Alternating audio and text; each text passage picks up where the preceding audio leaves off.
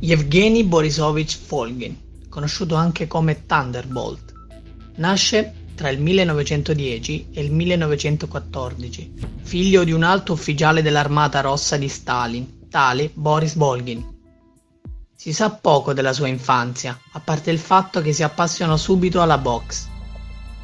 Appena possibile si arruolò come suo padre nell'Armata Rossa, precisamente nel Commissariato del Popolo per gli Affari Interni, e durante la Seconda Guerra Mondiale partecipò al massacro di Katyn, in cui l'esercito sovietico massacrò circa 22.000 polacchi, soldati e civili.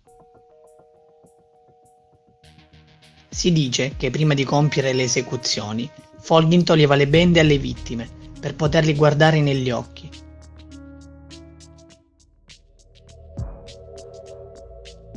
Nel 1953 partecipò alla repressione dei moti operai nella Germania dell'Est e tre anni dopo alla repressione degli antisovietici in Ungheria. Si stima che abbia personalmente eliminato circa 100.000 dissidenti. Successivamente divenne colonnello del GRU, la polizia segreta sovietica, indipendente dallo Stato Maggiore. Qui conobbe il maggiore Raikov, con il quale intraprese una relazione sentimentale.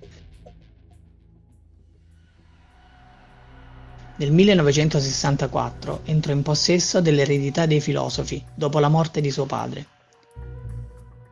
Usò i fondi per costruire il Groznygrad, una fortezza nelle montagne dello Zelinoyarsk, e successivamente cospirò con Brezhnev un colpo di Stato ai danni dell'amico degli americani Khrushchev, il segretario del Partito Comunista Sovietico. Il suo piano prevedeva la costruzione in serie dello Shagod, un carro armato in grado di lanciare missili nucleari da qualsiasi tipo di terreno e dopodiché bombardare gli USA in modo da scatenare una guerra mondiale. Guerra che avrebbe combattuto al fianco dell'Unione Sovietica, consegnata al suo compagno Brezhnev, e che probabilmente avrebbe vinto grazie appunto al suo vasto armamento. I suoi piani però vennero fermati dai filosofi americani, che misero in piedi l'Operation Snake Eater, e il 2 settembre del 1964 riuscirono a eliminarlo e a recuperare l'eredità dei filosofi.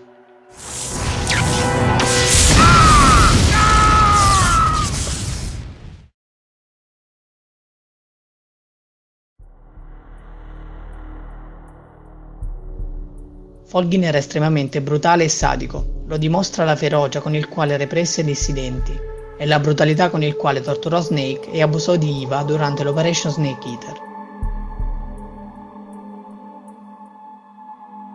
Era un uomo arrogante, prepotente e megalomane. Infatti la politica d'apertura verso l'Occidente del presidente Khrushchev non gli andò a genio. La costruzione del Groznygrad e il suo piano di guerra totale dimostra perfettamente la sua inclinazione al controllo e al potere, senza minimamente preoccuparsi delle vite dei più deboli. Insomma, un uomo spregevole.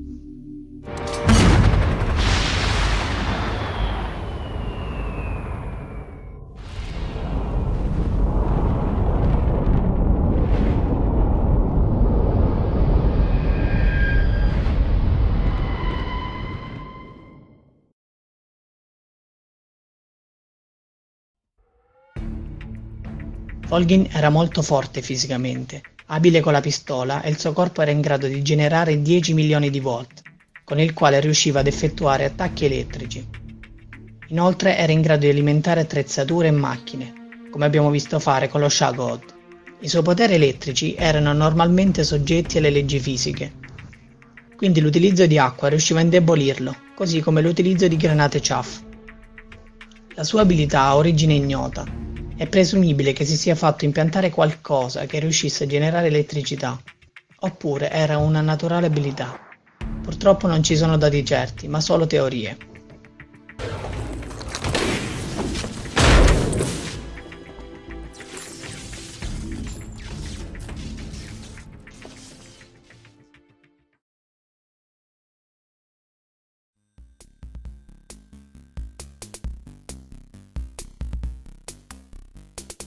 Anche se è riconosciuto che siano stati Naked Snake ed Eva a sconfiggerlo, tecnicamente il colpo di grazia gli è stato dato da un fulmine, mentre era a bordo dello Shagot.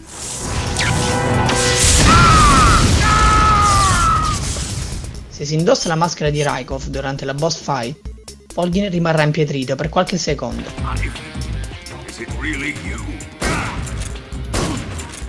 Durante alcune cutscenes in cui piove, possiamo ascoltare Folgin dire Kuwabara, Kuwabara. Significa letteralmente cespuglio di more. Infatti nella mitologia giapponese i cespugli di more non vengono mai colpiti dai fulmini. Curiosamente, l'unica volta che non lo dirà verrà colpito proprio da un fulmine.